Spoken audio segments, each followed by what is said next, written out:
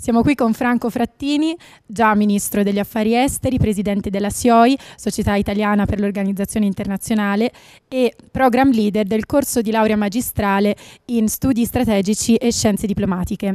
Presidente, secondo lei l'Europa come può aiutare i giovani? Ma è chiaro che per tutti i ragazzi che aspirano eh, a inserirsi nel mondo del lavoro, l'Europa è una cornice necessaria.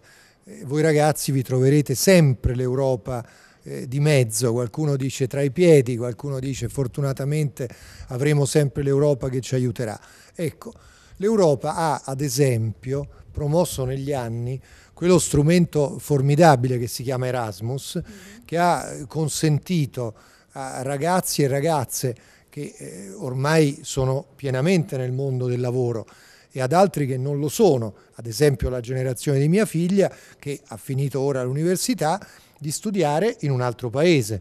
Allora l'Europa che cosa può fare? potenziare questi strumenti per l'educazione precoce dei giovani, non soltanto gli universitari, non soltanto i master, ma a partire proprio dai ragazzi dei licei.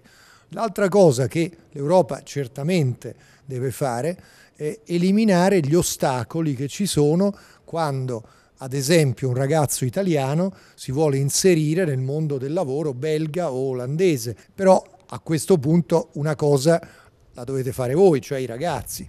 Eh, conoscere le lingue alla perfezione. Lo studio delle lingue, lo studio dei rapporti internazionali sono precondizioni per poi navigare in quel percorso a ostacoli. Secondo lei, um, quali politiche nazionali e internazionali uh, si potrebbero fare per i giovani?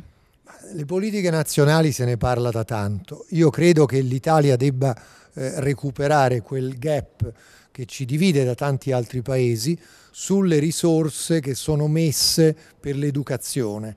Quindi la riforma della scuola, dare all'università la funzione di preparare i migliori. La cosa fondamentale ragazzi è il merito. Eh. Qui nel mondo di oggi prevalgono i più bravi, non prevalgono né le ragazze perché c'è la quota rosa, né i ragazzi perché sono giovani, prevalgono quelli che meritano di più. All'estero è così e quindi anche in Italia deve essere così. Ehm, l'ultima domanda, quale consiglio o messaggio si sente di dare alla generazione Proteo e ai giovani che sono riuniti oggi nell'auditorium della Link Campus University? Ma io il messaggio che mi sento di dare è innanzitutto, eh, ragazzi, credete a quello che fate. La cosa peggiore di tutte è che si scelga una facoltà perché ce lo consiglia qualcuno che si abbia un'idea senza capire dove quest'idea va a parare. Allora, se io scelgo un percorso universitario, è capitato a me eh, per primo, bisogna essere assolutamente sicuri di dove si va a finire. Il mio consiglio è di crederci, di rimboccarvi le maniche, tutti, tutte e tutti, e di andare avanti in questa maniera. Bene, la ringrazio. Grazie. Grazie.